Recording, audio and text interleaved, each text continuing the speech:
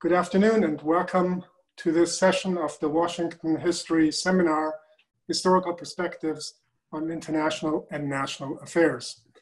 This afternoon, we will focus on a new book by City University of New York professor um, Eric Weitz entitled A World Divided, the Global Struggle for Human Rights in the Age of um, Nation States. Joining us this afternoon will be Harvard's Kathryn Sikkink, who will provide comments on the book before we open it, uh, open the floor to all of you.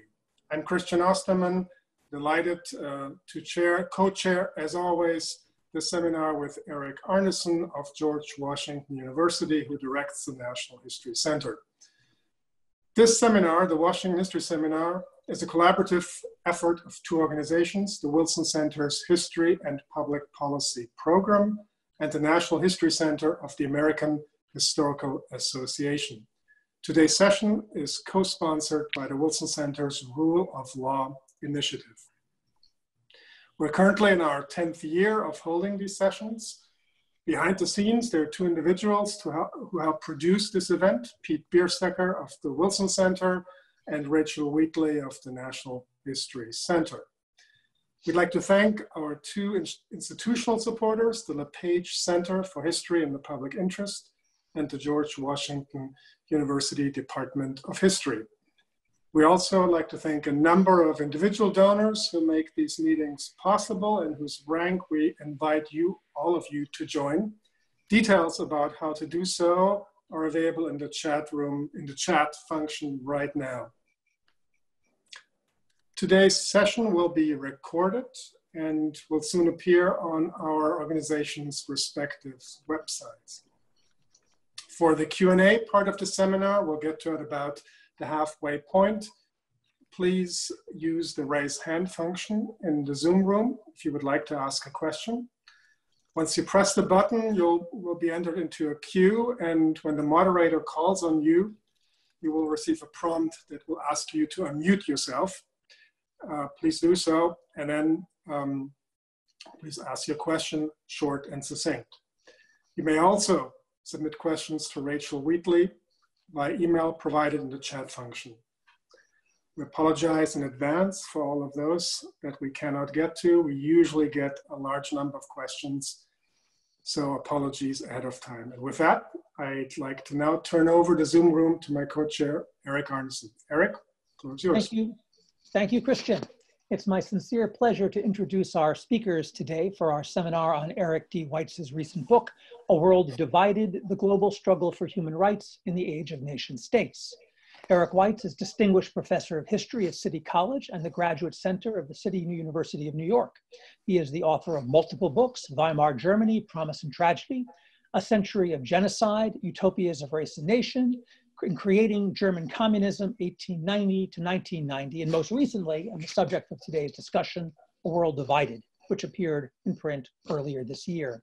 All four books are published by Princeton University Press. He lectures widely in public and in academic settings on the histories of genocide and human rights uh, and on Weimar Germany. Eric will lead us off today with some remarks about the book to be followed by a comment by Kathryn Sikkink, who I will introduce in a short while. And with that, I turn the screen over to Eric Weitz. Eric. Okay, thank you very much. And thanks especially to Eric and Christian, as well as Rachel and Peter for, for organizing this. And thanks so much to Kathryn for agreeing to serve as the discussant. Up until a few years ago, Kathryn and I were colleagues at the University of Minnesota. I learned a great deal from her about human rights. I continue to learn a great deal from her, and I'm, I'm very, very grateful to her. A World Divided is a global history and a history of human rights. Three issues animate the book. First, in our world of 193 nation states at last count, who truly, quote unquote, has the right to have rights, as Hannah Arendt asked in 1951 in The Origins of Totalitarianism, and a century before her, the German Enlightenment philosopher Johann Gottlieb Fichte proclaimed much the same thing that the most basic right, said Fichte, is the right to have rights. Second issue that animates the book what do we mean by human rights? We tend to think that the answer is simple it is anything but. Third issue how do we actually obtain rights? We honor heroic actors, Martin Luther King Jr., and Nelson Mandela, Ruth Bader Ginsburg, but is it by their actions alone that we make progress when we make progress and we don't always do excuse me do but when we make progress in the realm of human rights so these three issues are the fundamental ones that i address in the book the book moves through nine historical cases of the last 250 years to illuminate these problems cases drawn from virtually every continent. The book starts with the Greek struggle for independence from the Ottoman Empire in the 1820s, moves on to the removal of Native Americans from Minnesota, goes on to slavery and emancipation in Brazil, the creation of minorities, minorities a phenomenon of the nation state, in namely Armenians and Jews, then genocide and the rebuilding of shattered communities in Namibia, Korean movements for independence and democracy, the Soviet Union, Palestine, Israel, Rwanda and Burundi in regard to decolonization and independence. Underlying all these cases, all three issues, is again the fact that we live in a world in which the nation state has become the predominant political form with origins along the Atlantic seaboard in the 18th century, then its dissemination through Europe in the 19th century, and its movement to a global phenomenon in the post 1945 world. At the same time, while the book is very much about nation states, at the same time, at least since the 18th century, we have lived in a global and transnational world in which not only people, but ideas, movements, phenomena like human rights travel as well. The nation state, we know, and I think this won't be a surprise to anyone on this Zoom event, the nation state lives on inclusions and exclusions. Even though since 1945, we have built a global human rights system. The nation state is still the first port of call for people demanding their rights. At the same time, the nation state is the supreme violator of rights. So, just to take the first case as an example, the decade long war that the Greeks still honor as the War of Independence against the Ottoman Empire, a war that led to a semi sovereign state and that enfranchised some property owning men. Those wars in the 1820s also devastated the Muslim and Jewish populations of the Peloponnese as Greek so called liberators fought to create the nation state. Who is a Greek? That question animated rebels in the 1820s and continues to resonate in Greece this very day. The answer, with some modifications today, is still a Greek is a person who is an adherent of the Greek Orthodox Church. What does that mean then for Muslims, Jews, and other minorities, Bulgarians, Vlachs, Macedonians, others in the Greek nation state? In contrast to empires, which you know, were by no means democratic or egalitarian, in contrast to empires, nonetheless, the nation state, in its first post Napoleonic creation here in Greece in the 1820s, drove people out as much as it included people, limiting the circle of rights bearing citizens. And I argue throughout the book that those limitations, as well as the enabling of rights when we are fortunate enough to live in democratic systems, Those exclusions are as much a feature of the nation state as the inclusions. The 19th century marked an epic period of population movements spurred on by the transatlantic slave trade, despite the prohibitions that began to develop after 1807, spurred the Atlantic slave trade, as well as the search for opportunities, Europe, Europeans coming to the settler colonies around the globe, uh, Asians and Middle Easterners also moving around the globe in search of empires, all of this enabled by the new technologies of steamships and railroads. Knowledge and ideas traveled as well. Enslaved Brazilians and slave owners, to use another example from the book, were acutely aware of the Haitian slave revolt of the 1790s. The Brazilian elite lived in a constant state of anxiety, while enslaved people had a model they could replicate. And replicate they did, engaging in countless rebellions and establishing numerous maroon communities.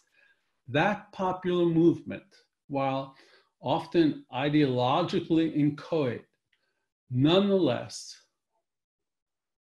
attacked the, mo- the preeminent violation of human rights in the 19th century, namely the existence of chattel slavery.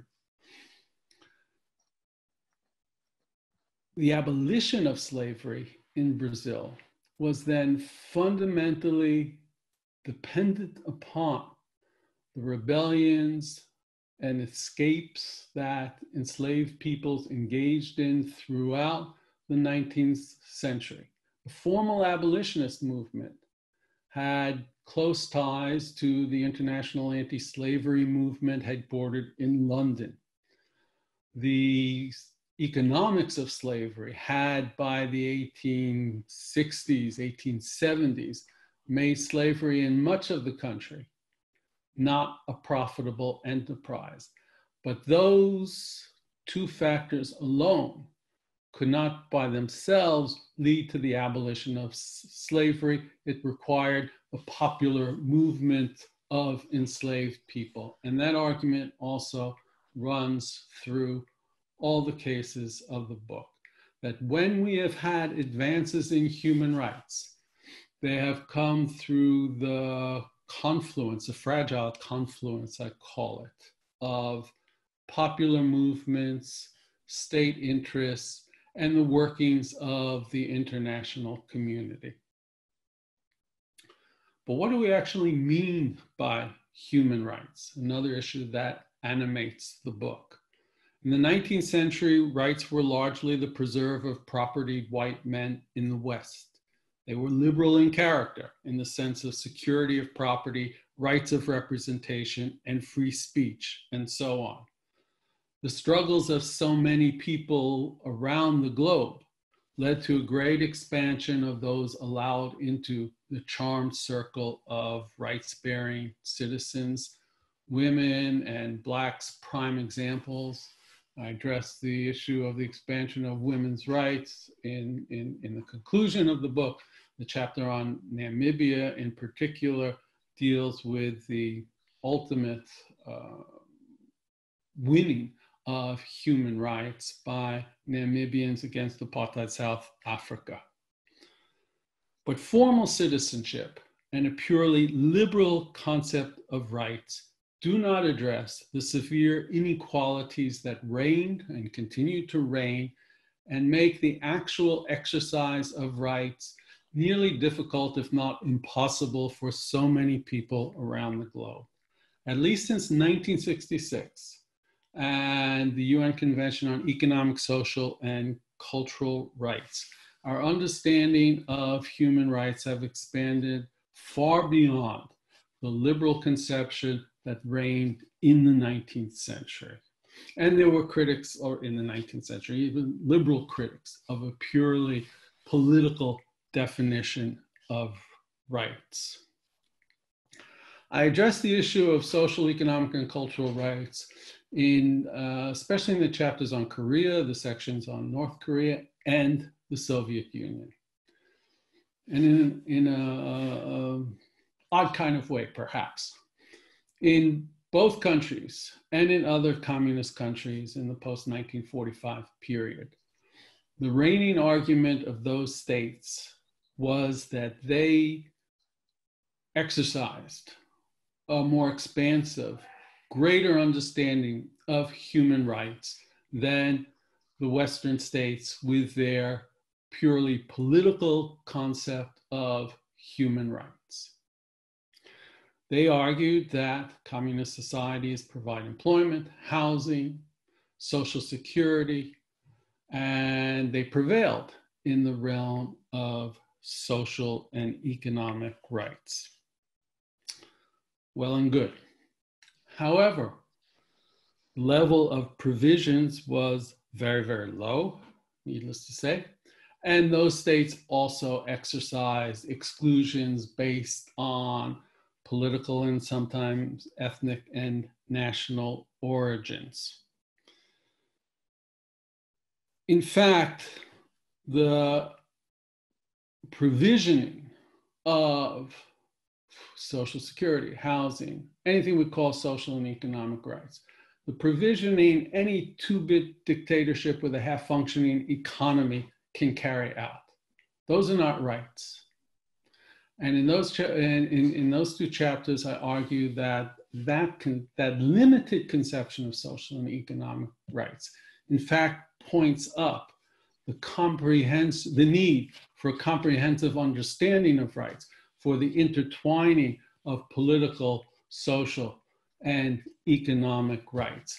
That uh, uh, uh, developed understanding of of rights that I think we do have today, at least uh, among those who favor human rights, is that those kinds of rights are interlinked, intertwined, and to be really meaningful, there have to be political rights that go along with social and economic rights. Rights means that people have the right to, indeed, uh, are it is demanded of them that they protest as need be, whatever their concerns may be, whether it be housing or education or any other kind of social and economic, as well as political rights. Ultimately, a world divided is an affirmative history, not a triumphalist history, but an affirmative history of human rights. It engages the contradictions, partial advances, and retreats in the history of human rights. Still, it argues that human rights are our best hope for the future. The advocates sometimes espouse utopian aspirations. Uh, I don't think that's very helpful, actually. A restrained perspective is more appropriate and effective human rights will never be implemented in the all embracing fashion of, say, the Universal Declaration of Human Rights of 1948. Human rights will always face opponents, some quite strong. Yet human rights provide a powerful affirmation of the human spirit. They require that people be respected and afforded recognition, no matter what their specific gender, nationality, or race. They demand that everyone have access to the basic necessities of life and have the freedom to express themselves, to work and build and create as they wish, to join with others as they desire, and not least, of course, to be free of the scourge of violence and forced displacement. Those are our fundamental human rights, and we should demand nothing less from the worlds we inhabit. Thank you. Thanks very much, Eric. We now have a comment from Professor Kathryn Sikkink, who is the Ryan Family Professor of Human Rights Policy at Harvard University's Kennedy School, a scholar of international norms and institutions, transnational advocacy networks, the impact of human rights law and policies, and trans transitional justice. She's the author of The Hidden Face of Rights Towards a Politics of responsibilities, evidence for hope making human rights work in the 21st century, and the award-winning The Justice Cascade, How Human Rights Prosecutions Are Changing World Politics. Kathryn, the screen is yours. So first, I want to thank uh, uh, um, Eric and Christian uh, and Eric for the invitation to be in this event today. Um, second, since no one has held up the book, I feel like someone here should hold up the book, and I hope you can see it on my camera. You see, okay, you see this is a hefty tome. Um, I should point out that I am a, a political scientist, not a historian. I do international relations. I'm a political scientist that has a long uh, tried to have a, a, a, deep appreciation of history in my own research and the research of others. And I've followed human rights history uh, carefully. Uh, and uh, so as you see from uh, this, from Eric's introduction, this is a compelling and sweeping human rights history. And uh, when I'm sometimes asked if I can only recommend one book that people should read on human rights history, I now tell them they should read uh, Eric's book. Um, and it's, it's wide ranging. It is meticulously researched. It takes a much longer a slice of history than most human rights histories do. Um, and it has this very detailed uh, case material, I think, that illuminates uh, the argument. Um, and so, you know, and as Eric ended with, this book is, is about the fact that uh, there's no finality to human rights, that, as Eric says at one point, only ceaseless debate and political contestation. And that very much uh, reflects, um, you know, my view of human rights that I always use the word struggle, that it's about, it's about constant struggle. It's not about uh, uh, that we're reaching the end of history. Now, I also want to say I think this is very much a book that that builds on a lifetime of research, that Eric's lifetime of research. This is the kind of book that a that's a, a, a senior scholar can dare to write uh, because it's so ambitious, covering so many parts of the world and so many economic, uh, so many historical periods.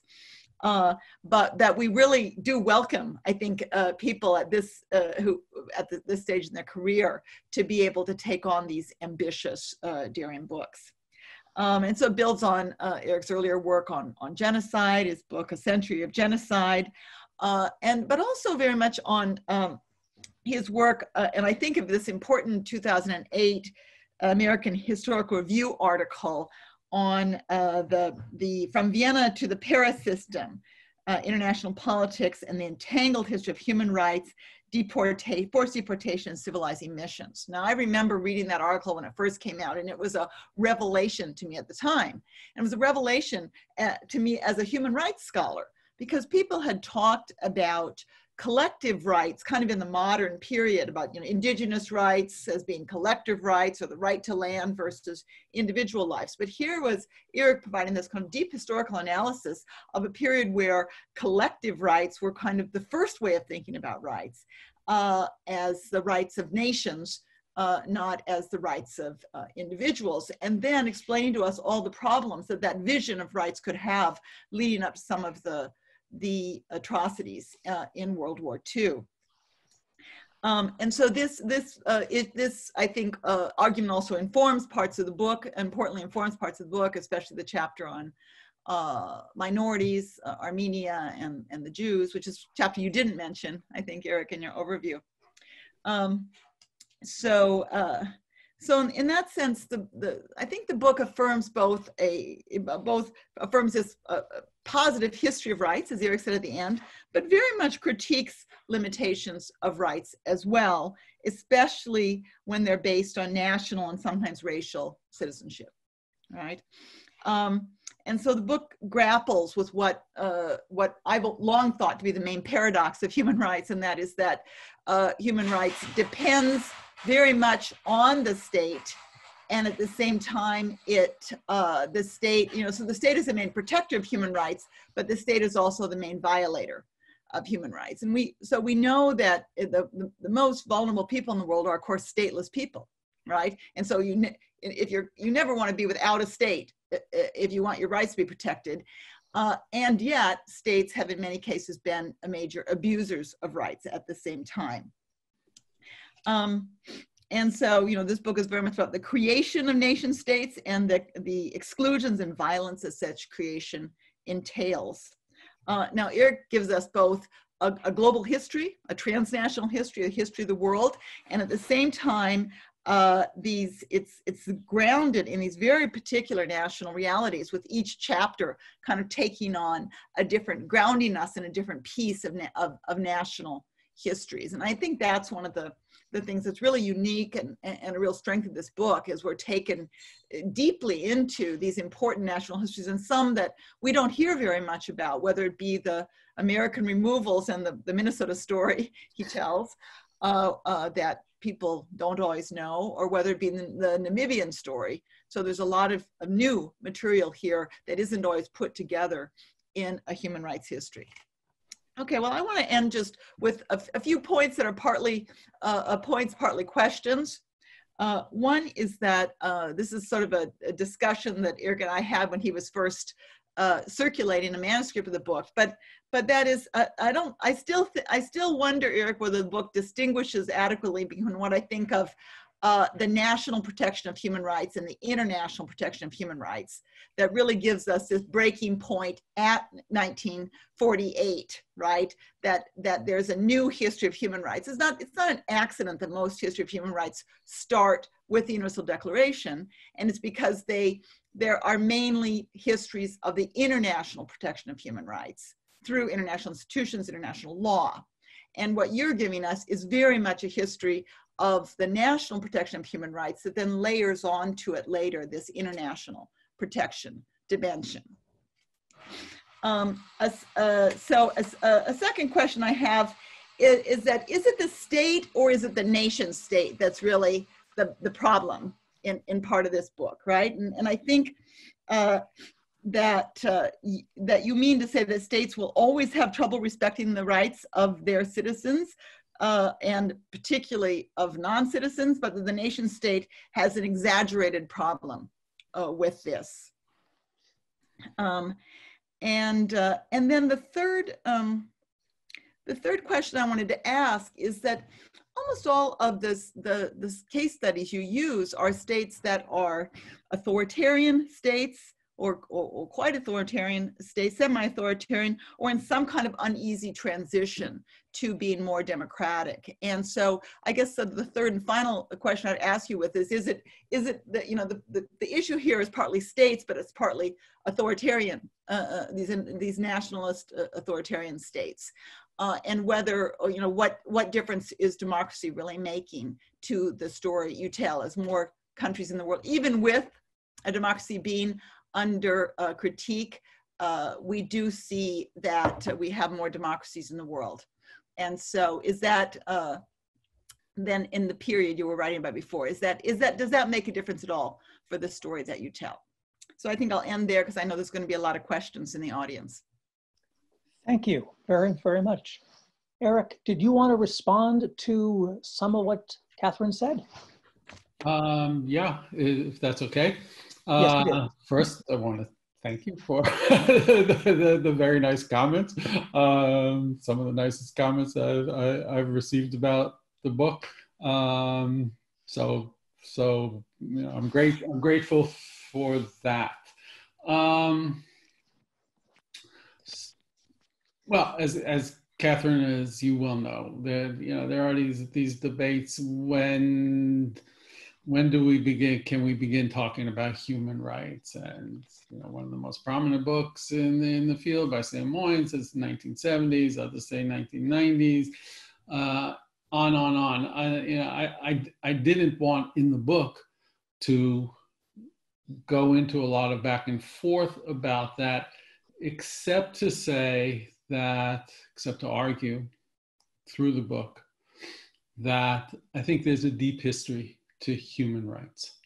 And I start in the late 18th century because that's when I think the idea of rights that you know emerged um, intellectually in and philosophically in the uh, 17th century uh, becomes manifest in, in, in politics and life with the American, French, and Latin American revolutions. And to be sure, there are differences.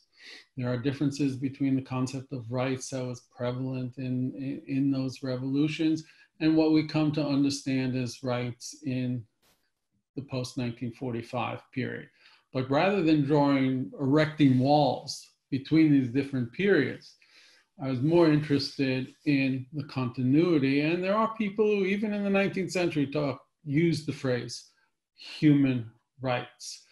Um, the fact that, uh, as you mentioned, international protections begin to emerge and have since been expanding continually since 1945, and the fact that, at least legally, under international law, even non citizens have rights that should be protect, protected. All of that, I think, are constitute great advances in the history and practice of human rights. And I argue in the book that any movement of rights protection to the international level is an advance. But at the same time, at the same time, um, so much of human rights, both positively and the violations, occurs at the nation state level, at the level of national citizens, citizenship. And we see that so powerfully today in, in the existence of over 70 million migrants worldwide by the count of UNHCR. Actually, was 70 million when I, I wrote the last draft of the book. I haven't looked recently, but it's probably over 80 million by now.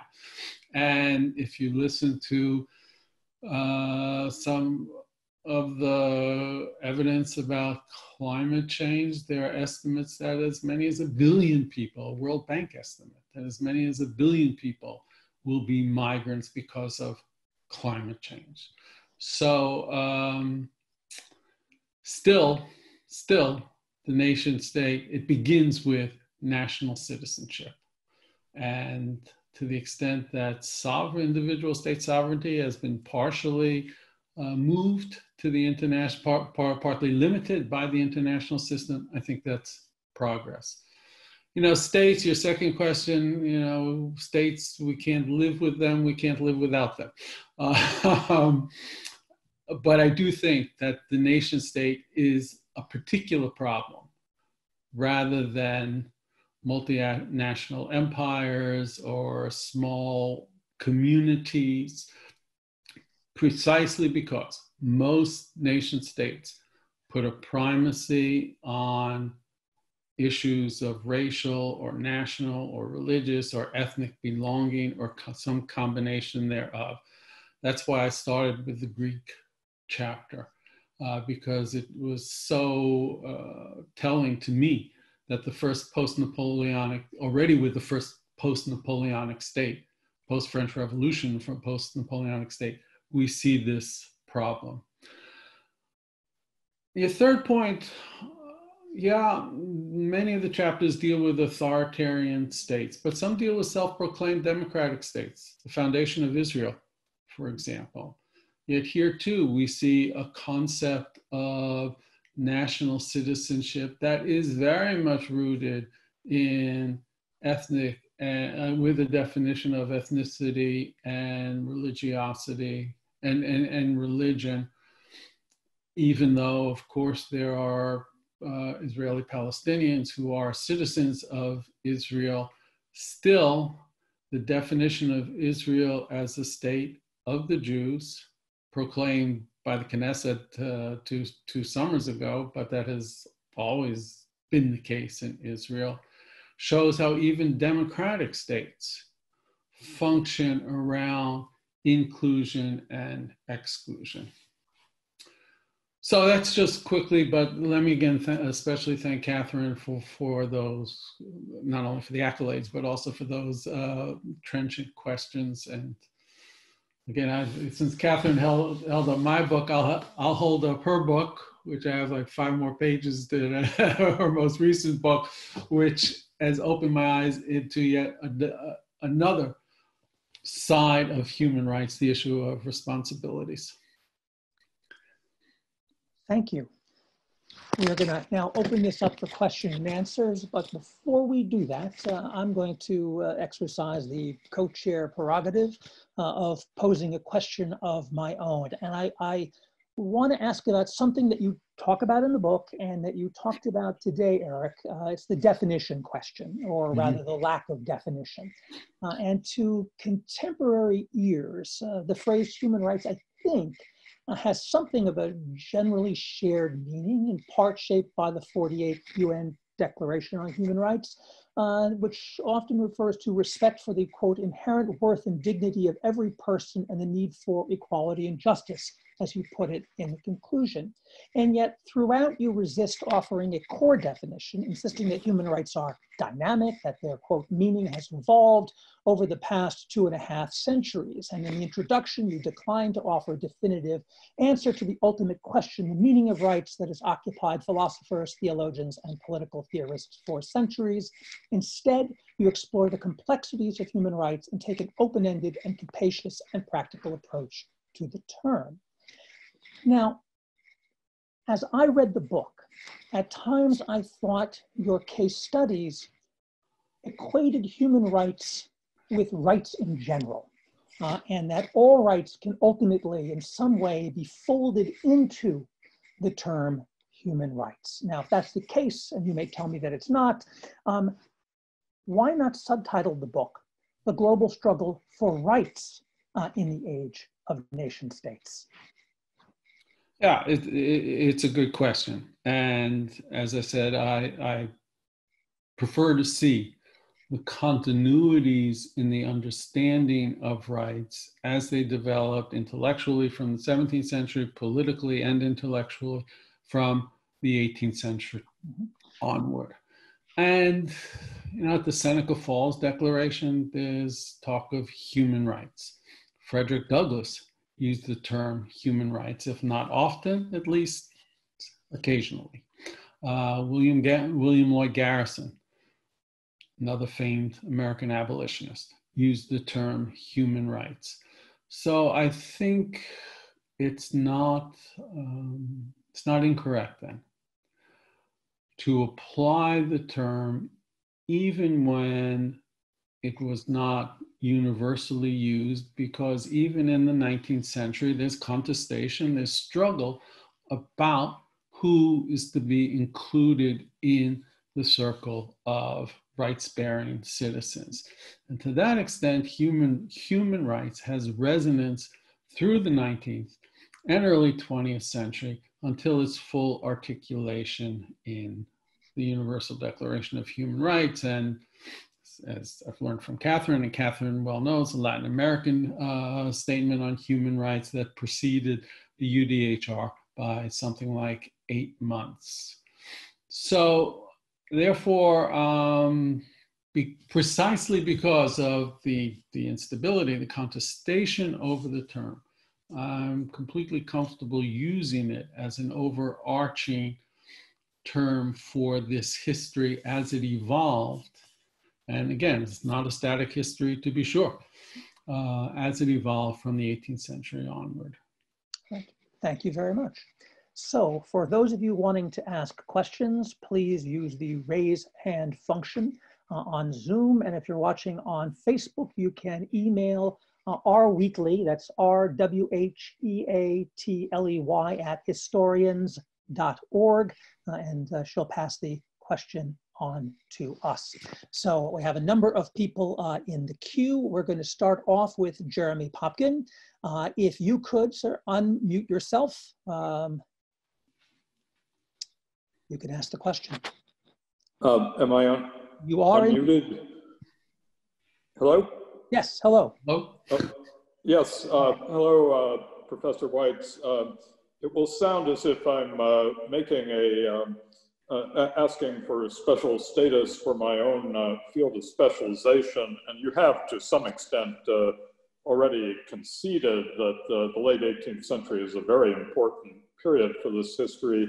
But it seemed to me uh, when I um, uh, started your book that I, I fully appreciate your desire to open the discussion up to a kind of global history, but uh, to leave out uh, the American and French revolutions and the movement for the abolition of slavery that uh, starts in that period seems to me to kind of leave a very important part of the history of this discussion uh, in the dark. Uh, and uh, so I sort of want, wanted to ask why you decided to simply omit that stage of the history of rights debates uh, and begin in the uh, 1820s.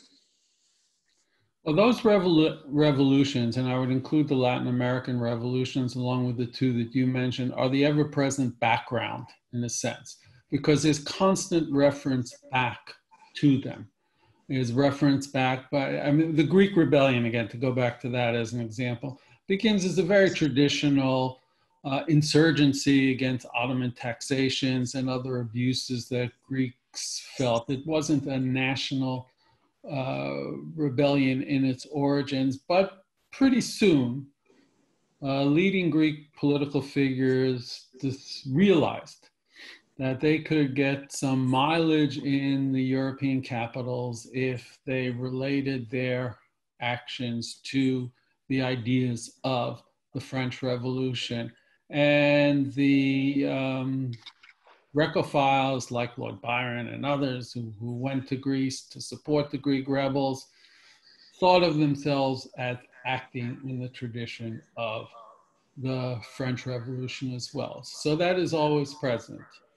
Uh, there is a chapter that I mentioned very briefly on slavery and abolition in, in Brazil. So that does play a central role in the book. And I argue that um, slave rebellions helped destroy what was the, the, greatest violation of any kind of human rights sensibility in the 19th century. Thank you. Um, next, I'm going to call on Sonya Michel, and if folks could identify themselves briefly uh, before they ask their question, we would appreciate it. Uh, so Sonia, your Hi, question. thanks for taking my question. Uh, I'm a professor emerita of uh, women's history, mostly at the University of Maryland, and currently painting. Um, Eric, sounds like a very interesting book, which unfortunately I had a chance to read. Um, I have two sort of related questions. In what is this a global history? I mean, are you just, I mean, is it more sort of a compendium of cases that you're kind of comparing? And relatedly, this might give you a avenue into that question. Um, you you you start in the 17th century, which me, which I take to mean that you think the ideas of the Enlightenment were important and had continuities throughout a number of the struggles for human rights. But when you listed the three factors, if I got this right, that were important, they're movements, governments and governments slash states, and international forces. So my question is, to what extent were was ideology important? Were, were ideas important? And given the fact that a number of the cases, as I, if I recall correctly, are non-Western, to what extent were the Western, the Western ideas of the Enlightenment important in the various cases that you examine? I think the uh, Enlightenment ideas were absolutely critical um, everywhere around the world. And, um, you know, I've been roundly critiqued for, uh, for supposedly a Western centric or Eurocentric history of human rights. And I, I contest that criticism because uh, as the idea of rights moved around the globe, it also expanded and became adapted to other situations. So, for example, and it's a very critical example, the expansion of our understanding of rights to include social and economic rights was very much the actions of people in and movements in what we now call the global south. The creation and just two examples to illuminate that. The creation of the global international human rights system after 1945 was by no means only the work of the united states and other liberal states it was very much an alliance between the Soviet Union and the global South uh, in fostering measures at the international level, like decolonization, like national independence, like social and economic rights in that in human in that UN convention that I mentioned. Now, you, one might argue that the Soviet Union was just a cynical actor here, and it's something I, I dispute in that chapter that there's a long tradition out of which the Soviet Union is is acting as well. You know, whatever it, it, it's horrific domestic policies.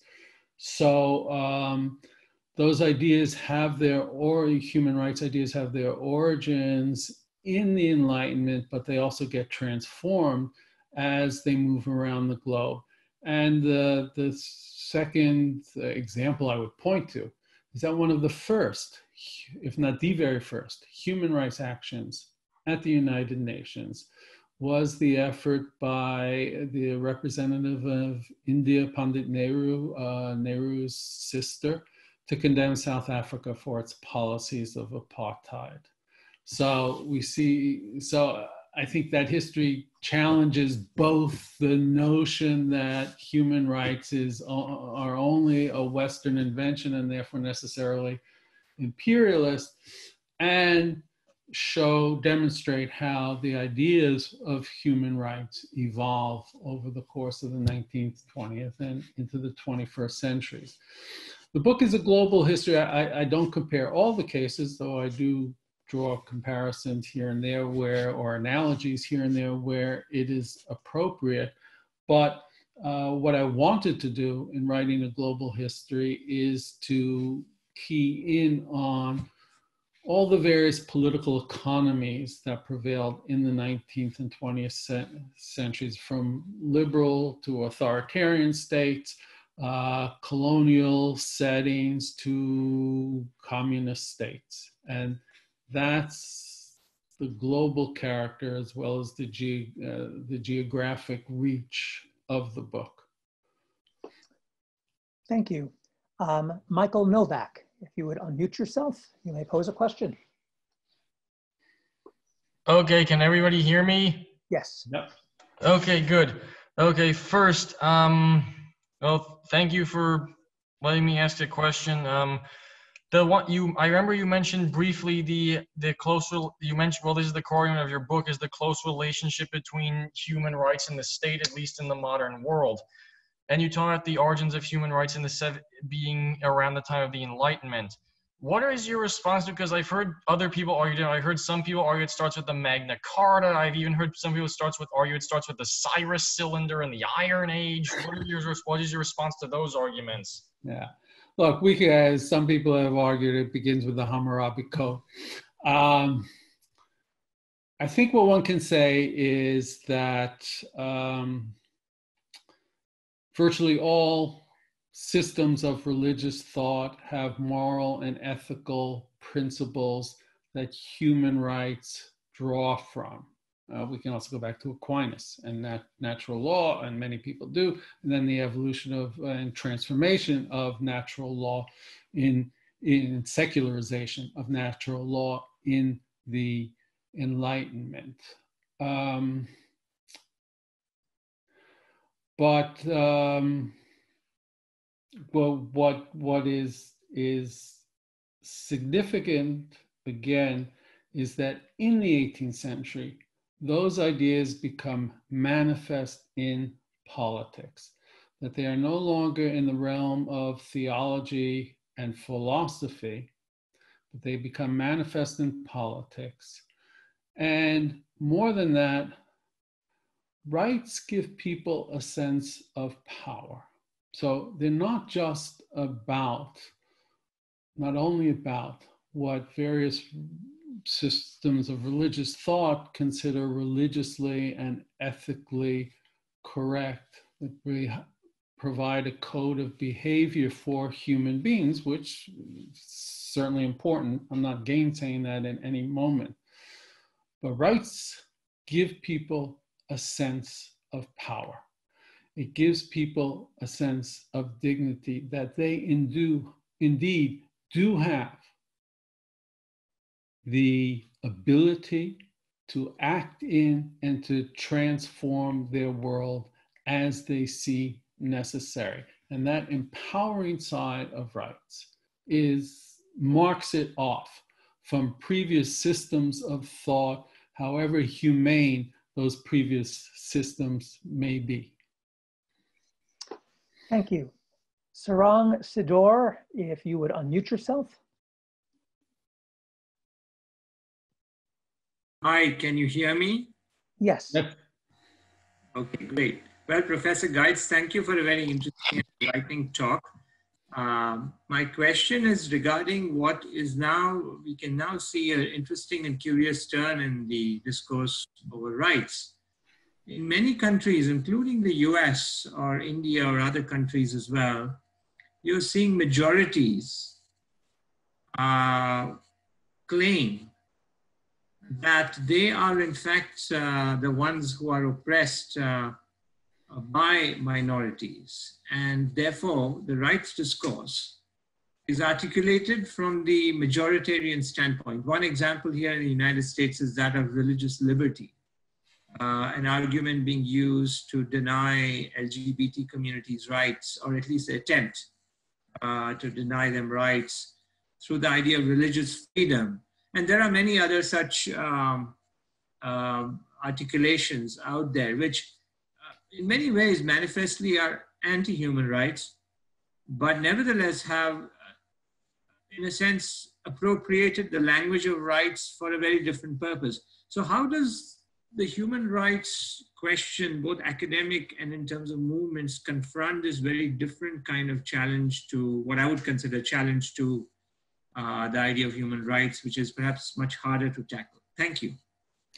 Yeah, it's a it's a very good question, and unfortunately, it it is quite true that the phrase "human rights" has become so prevalent in our current world that it is often appropriated and misappropriated for all sorts of limiting or even nefarious ideas.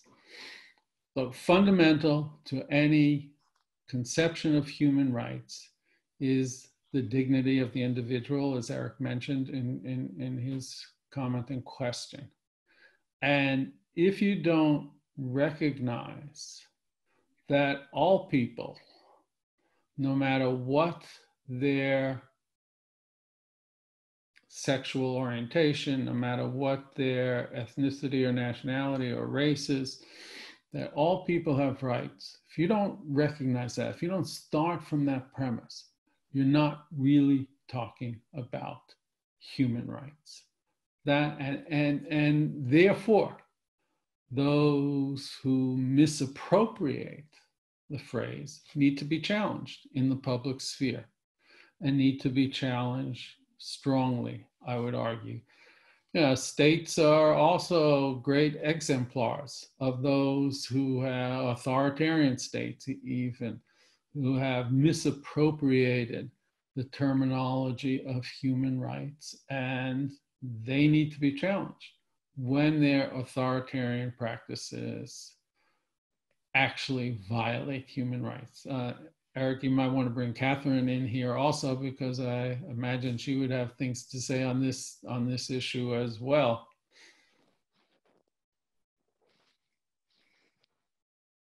Kathryn?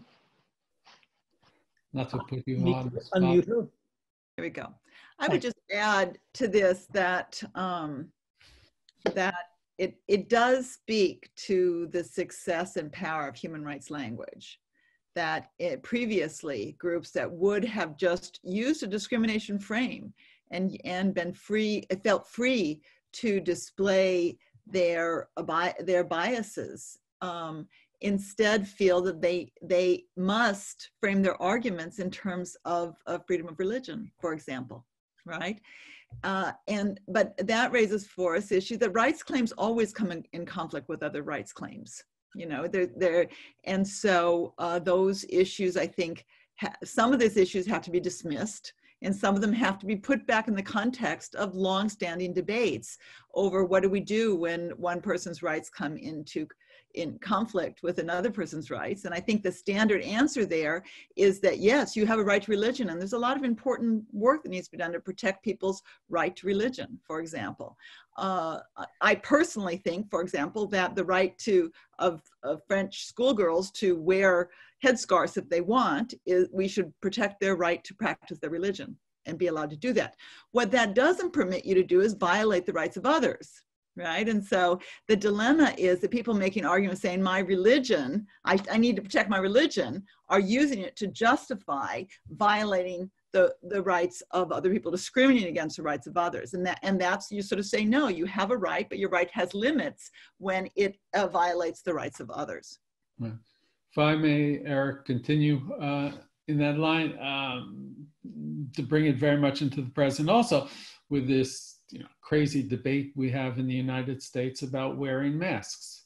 Well, you know, people say it's my individual right. Well, sorry, no, it's not. There is no religious, moral, ethical system in the world. There's no human rights system in the world that says you have the right to harm others.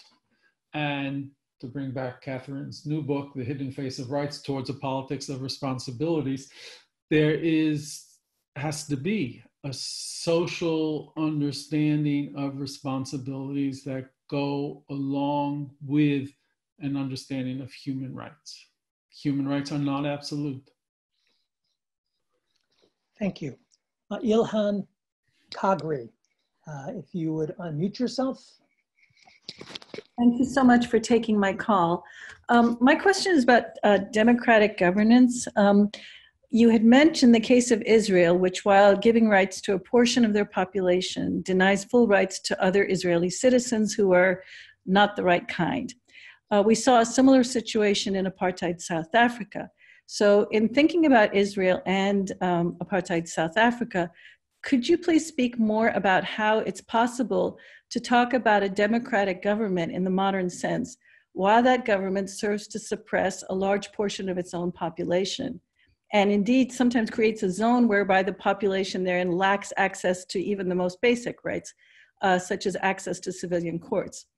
And in fact, can't you argue that uh, those governments actually serve to enrich and empower maybe small subsections of the privileged population while using the pretext of a supremacist ideology to obfuscate what's really going on?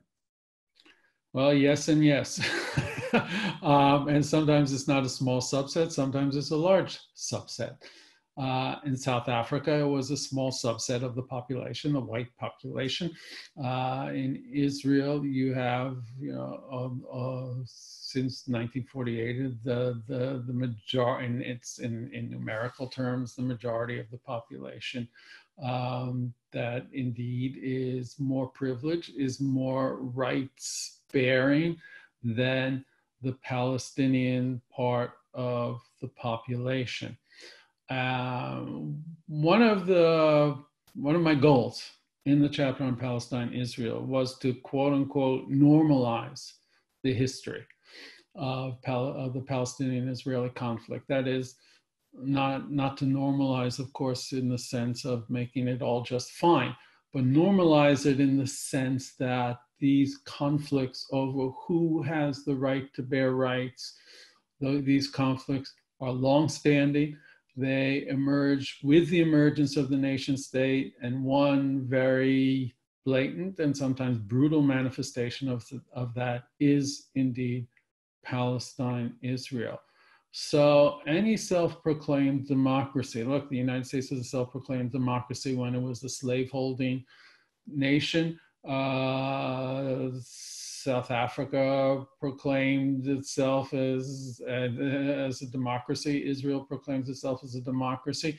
Um, those three cases are not all the same, but one has to look deeply at where the limitations of democracy exist when the state and citizenship are defined in exclusive terms. Thank you. Uh, Gary Cohen, uh, unmute yourself. Uh, can you hear me? Yes. Hi, Gary. Hi, Eric. Uh, I am Professor Emeritus of History at the University of Minnesota, so I'm a former colleague of both Eric uh, and Kathryn Sikkink. Uh, Eric, uh, let me ask an historian's question. Uh, I imagine not a very hard one. Uh, you mentioned in your talk how the establishment of the, of the United Nations uh, the issuing of the Universal Declaration on Human Rights in 1948 are commonly taken as uh, uh, opening a, a new era uh, and a new regime uh, for international human rights protection. And then you went on to say that in this, this book, you were interested in finding the longer term continuities rather than drawing a strict demarcation uh, at 1948. Uh, that being the case, let me ask uh, what you see as the import or lack thereof of the beginnings of uh, efforts at international protection of minority rights. We see a little bit of this with the Congress of Berlin in 1878 uh, regarding the emerging Balkan nations. And then uh, more formally, uh, 19, 1918, 1919, with the Paris Peace Conference, the minority treaties uh, that the League of Nations was supposed to help enforce. Uh, how much of a watershed in uh, an international human rights regime do you think that marked or not? Or was it in some ways perhaps a false start? Thank you. I think the period from 1878 to 1945, rights were defined in Europe primarily around nation states and national belonging. That is, national citizenship came first, the individual after that. The UDHR proclaimed uh, in the straddled the, the issues in the sense that it is largely a document about individual human rights because everyone recognized the abject failure of the minority protection system established at the Paris Peace Conference in 1919. There were a few voices, mostly representatives of Jewish organizations, who wanted to see a recreation of the minority protection system, but those voices uh, were very few and, and failed. Nonetheless, one cannot say that the UDHR is exclusively a document about individuals because there are, in the last 10 or so articles of the UDHR, there is attentiveness to social and economic rights. There's also attentiveness to national belonging. So while there is a shift in uh, post 1945 toward a greater emphasis on individual rights, it's not a complete shift, not by any means. And the subsequent history for example, the debates that ran on for 20 years almost prior to the two UN conventions of 1966 about self determination. Self determination, by this point, clearly understood as a collective right, a right of nationals, a right of the nation state, demonstrates that that history of a collective understand, a primarily collective understanding of human rights did not by any means die with 1945, even though no almost no one wanted to recreate the minority protection system of the League of Nations. And Donna, Dana, uh, if you would unmute yourself. yes? Yes. You can go ahead. I didn't ask the question. I'm sorry. I'm a, oh. I'm a latecomer to listening in. I'm sorry I missed the early part. Sounds like you've been having a very good conversation. I do not have a question at this okay. time. the hand the hand was up, so I called on it. But since you're a latecomer, just be advised, the recording of this session will be up on our respective websites shortly. Uh, Herman Cohen. If you could unmute yourself. Yes, uh, thank you for that very interesting discussion. I'm a retired U.S. Foreign Service officer, served a lot in Africa, so I know a lot about human rights issues. In the advanced capitalist societies like the United States, where there's great wealth disparity, and we saw that in the pandemic where people found, found it very hard to miss even a single paycheck, aren't we getting to the point where poverty for working people is becoming a human right? Yeah, uh, absolutely. I, I, would say it's the issue has been there before. Uh, the notion, the concept of social and economic rights has existed beforehand, as I said, at least since 1966, formally, but it certainly goes back earlier. Uh, and COVID 19 has lain bare the huge inequalities within countries and globally between the global north and the global south.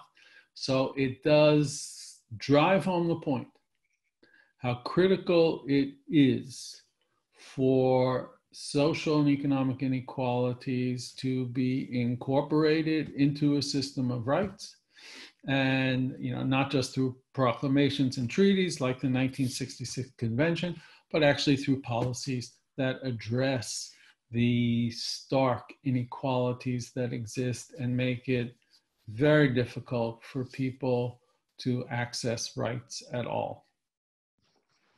Again, I don't know if Kathryn wants to jump in here and say some things.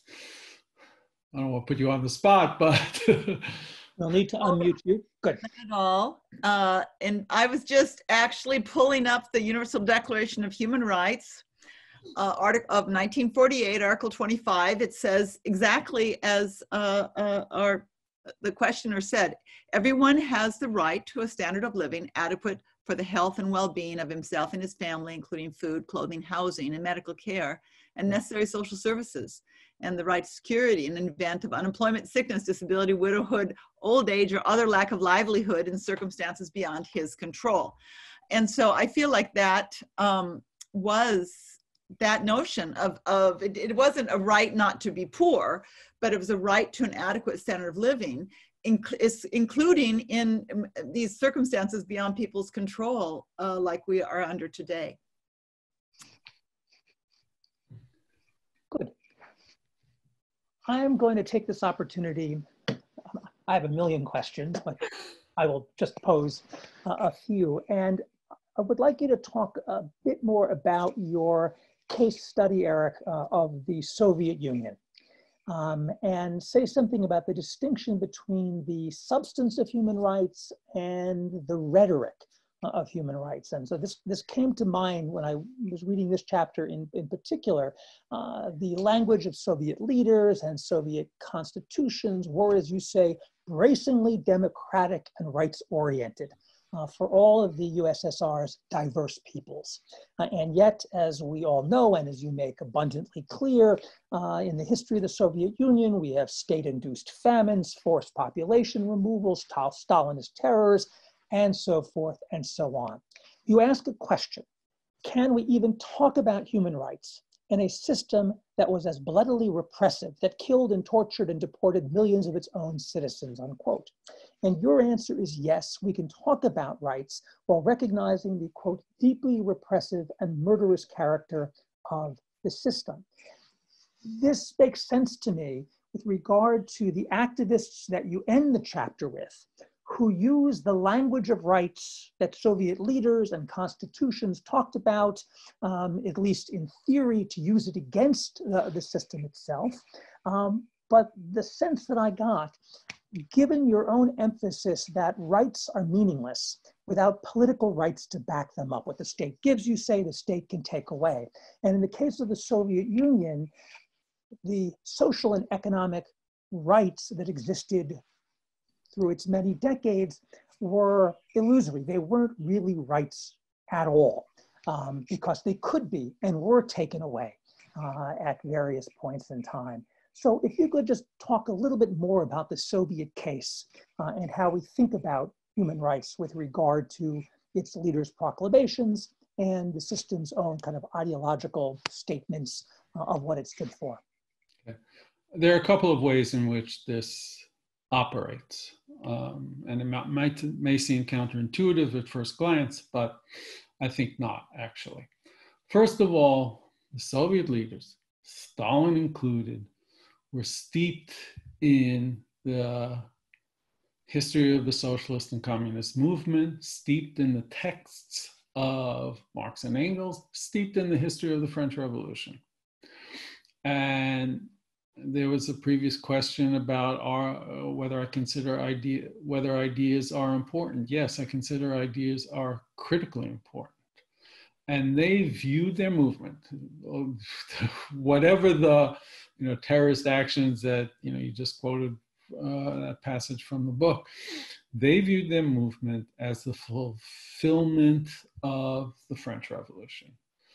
Many people know, of course, that Marx railed against human rights, but uh, I, I, I, think a more, more robust understanding of Marx and Engels is that they railed against the limitations of rights in a bourgeois capitalist world.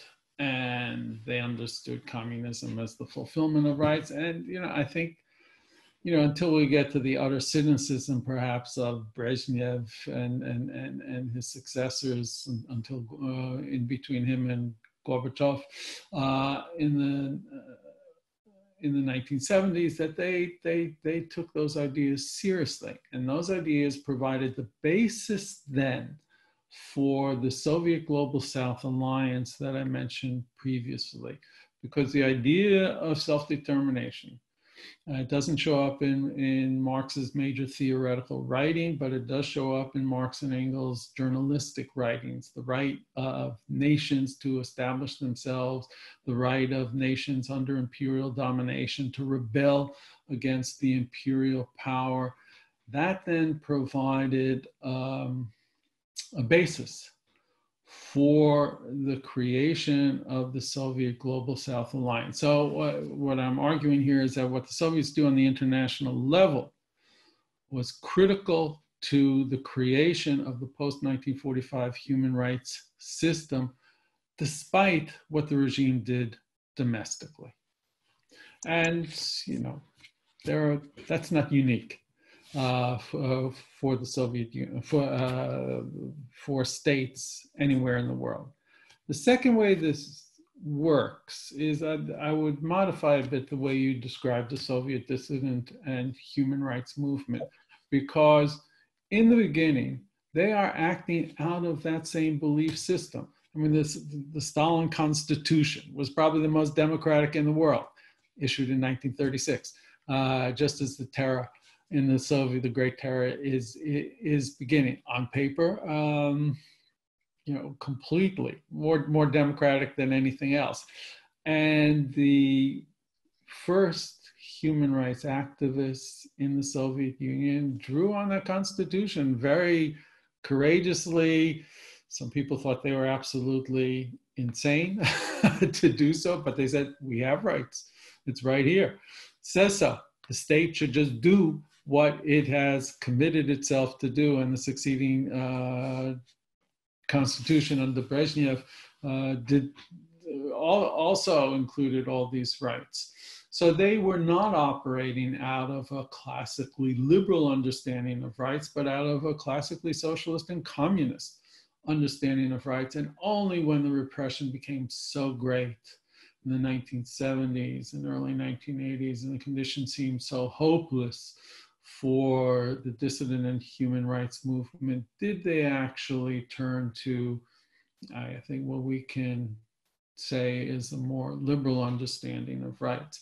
The third way in which this functioned is that uh, the activism of the, the few and very you know, heroic Soviet dissidents galvanized the human rights movement in the West. And Aryeh Neier, for example, one of the icons of the civil rights movement, uh, of the human rights movement, writes about this in, in, in his book, The History of the Human Rights Movement and Amnesty International, and what would began as Helsinki Watch and then evolved into Human Rights Watch. They were galvanized in the 1970s and 80s by two issues in particular the Soviet human rights movement and the anti apartheid movement. So, there we see the ways in which ideas and movements travel internationally, get adapted and mobilized in different ways. These are the kind of transnational networks that Kathryn wrote about and, and earlier in the 1990s that were so crucial to the development of the human rights movement. Thank you. Alyssa Bivens, your hand is up. If you would unmute and ask your question. Hi, can you hear me? Yes, we can. Excellent. Hi, my name is Alyssa. I'm a PhD student at George Washington University. And hello, Professor Arnesen. Uh, good to see you. Um, I uh, have a question about sort of the way that nation states might look moving forward. I know looking to the future as a historian can can be daunting. Um, but you've sort of mentioned this is an affirmative history of human rights and that states, we, we can't live with them, we can't live without them, you said. But I guess uh, my question is sort of uh, a little flippantly, why can't we? Um, if city states and sort of kingdoms, empires have all passed, um, why are nation states necessarily the best vehicle for human rights if, as you've noted, they've, they've had a, a troubled uh, road up to today? Um, and thank you again for your time. And I look forward to more deeply reading your book for my comprehensive exams this semester. So thank you. Thank you.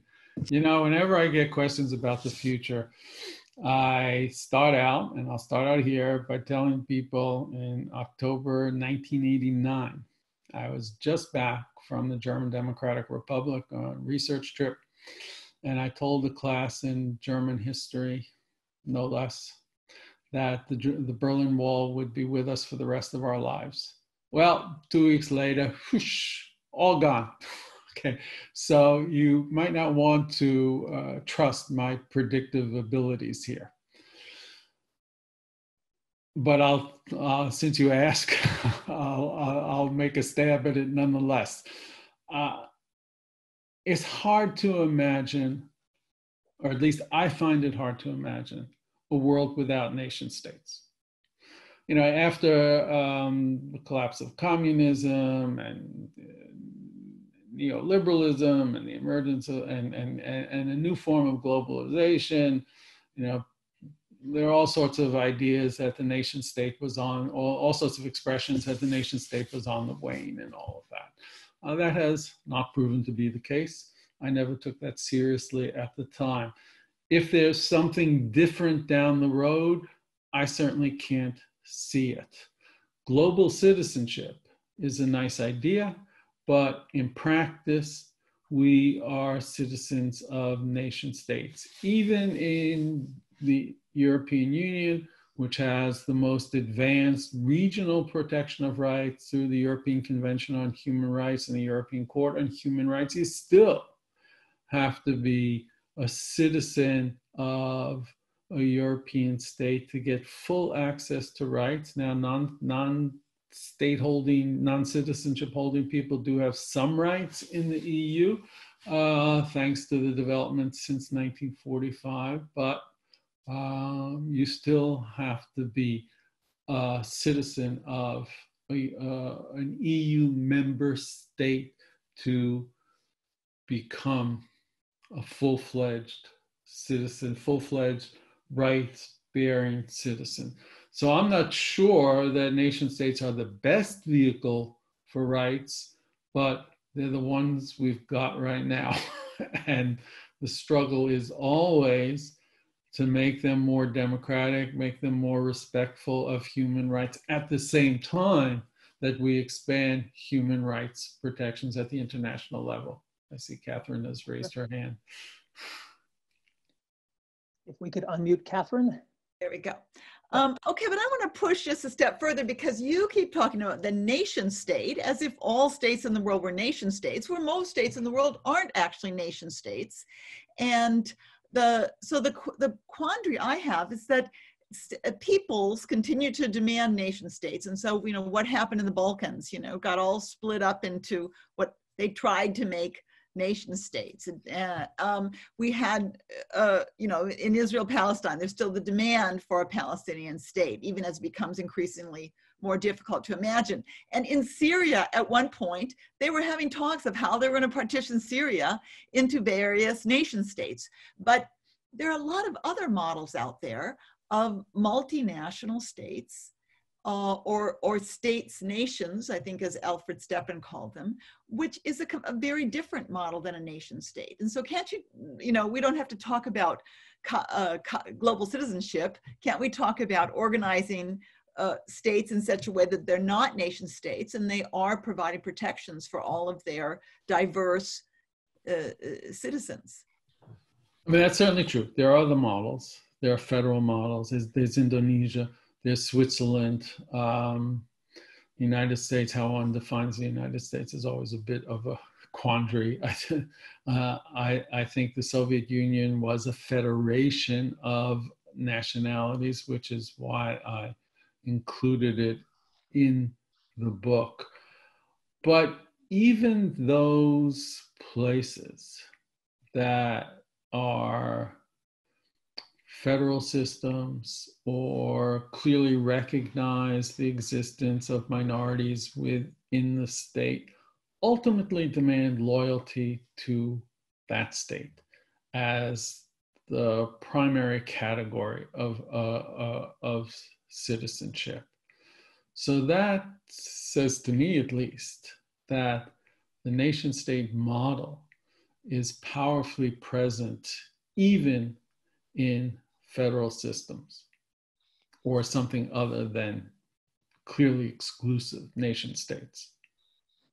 Thank you. We have one last hand up. Lynn Romberg, if you would unmute yourself.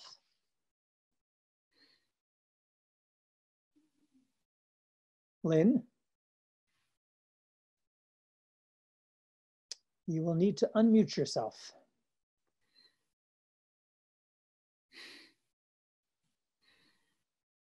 Going once. Going twice. Well, then let me pose a very simple and straightforward question that's been on my mind the case studies that you offer are all kind of self-contained, you know, linked with the, the theme that carries the book through, uh, and they're all equally fascinating. I'm wondering if you could just talk very quickly about your selection process and what case studies you thought about including that you didn't include and why. Yeah. Well, as I mentioned, um, I wanted case studies that stretched the globe geographically, and it also represented the range of political economies that seemed to me to prevail in the 19th and 20th centuries, from liberal democratic to authoritarian, from colonial systems to communism. I had intended originally to write a chapter on partitions that would cover India, Pakistan, Palestine, Israel, and Rwanda, Burundi, even though Africanists tell me Rwanda and Burundi was not really a partition. And there's some basis to that for sure. Uh, I just I couldn't do it all in, in one chapter. I, I, I did some serious amount of research on India, Pakistan, but that just you know in the end got got thrown out.